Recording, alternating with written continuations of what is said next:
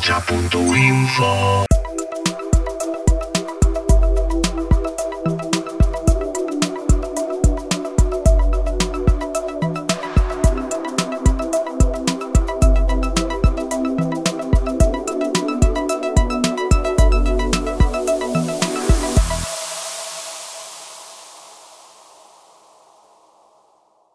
Sí, es un honor realmente estar en eh, participar en este homenaje a la gente pionera del osasunismo y que desgraciadamente desconocíamos las represalias que tuvieron en el 36 y entonces yo creo que merecen honor y gloria para siempre de parte del osasunismo.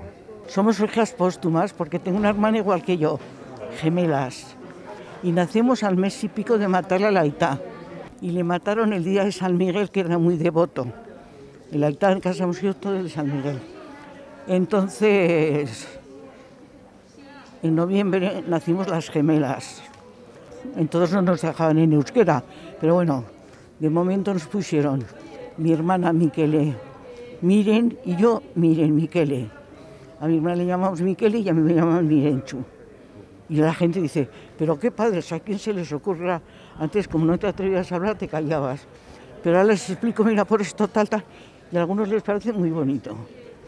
Y luego, pues nuestra vida, como te puedes semejar con el cielo y la tierra, tres hijos que tenían del primer antes de hacer las gemelas, y luego nacimos las gemelas, cada dos a casa de, de mi Aitona Gonzalo, que fue padre para nosotras, y pasamos muchas calamidades. A la pobre sufrió mucho, tenía 31 años, con el cielo y la tierra, y de, nadie, la familia. Fortunato fue de los fundadores de Osasuna y luego de Lizarra, ¿verdad? Lizarra y de la Castoda, Lizarra, de Estella, también fue, era un inquieto por lo visto. Claro, yo os cuento cosas que me han contado, porque tú puedes imaginar, yo no vivía, no había nacido. Y alcalde también. Alcalde también fue. Hombre, Osasuna, yo por lo que de chica oía, no se portó muy bien con, con el Aitán y con todos los que eran rojos que les entonces. O sea, no nos ha ayudado nadie, nada, más que la familia. Soy hijo de Aurea Jasso. Eh, Aurea Jasso es sobrina de Andrés Jasso Garde, que actualmente está desaparecido y su primer equipo importante fue Osasuna. ¿no? Eh, después lo captaron otros equipos, estuvo en el, en el Levante, en el Valencia y murió cuando estaba en el Sporting de Gijón. Parece ser que no se sabe todavía si como fue víctima civil, pues fue un poco ocultado esto, ¿no? Porque no sé cuántos se cargaron con el bombardeo aquel. Y parece ser que está en una fosa común en Cangas de Onís. Hay entre dos que está la cosa para... Y bueno, pues eh, he venido aquí por mi madre que no la hemos dejado salir de casa.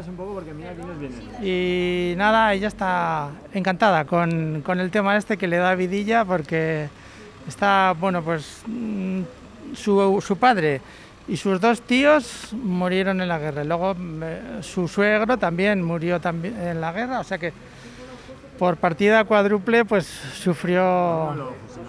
sí, a mi abuelo paterno lo fusilaron, bueno, y a mi tío José también, sí. Luego el futbolista que no se sabe muy bien cómo murió, porque no se sabe si es bombardeo al del autobús o qué. Eso todavía no se sabe, es que han pasado 80 y muchos años.